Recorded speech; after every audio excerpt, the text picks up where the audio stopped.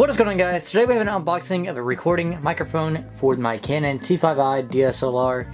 So as you can see here it is by Takstar it's the SGC 598 recording microphone. So that's about all you can read on the front. There's another language on there. You can't really tell what it says. But down here it shows you what it's going to look like.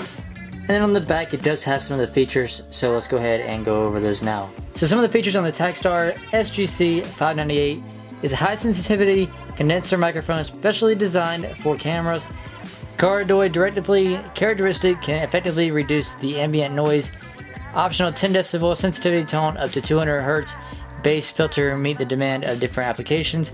Standard connector size for easy connection with camera. Shockproof design can reduce the mechanical noise of cameras and other vibration noise. Rugged alu mic housing features effective EMI resistance.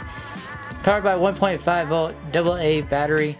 Playtime is up to 100 hours and it has a low power indicator. So without further ado, let's go ahead and open this up and take a look at it. Alright, so there's a cloth here, we'll remove that. Then inside the box, it has some warranty information, but I don't know what it says, as you guys can see.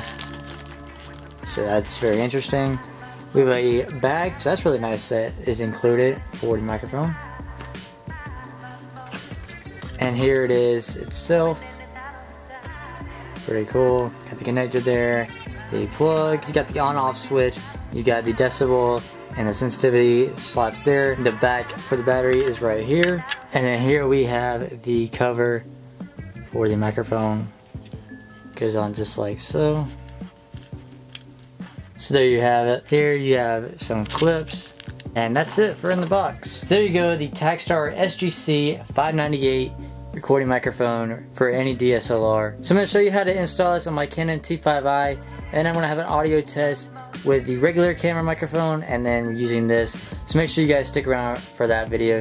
Thank you guys so much for watching. We'll see you in the next one. Peace!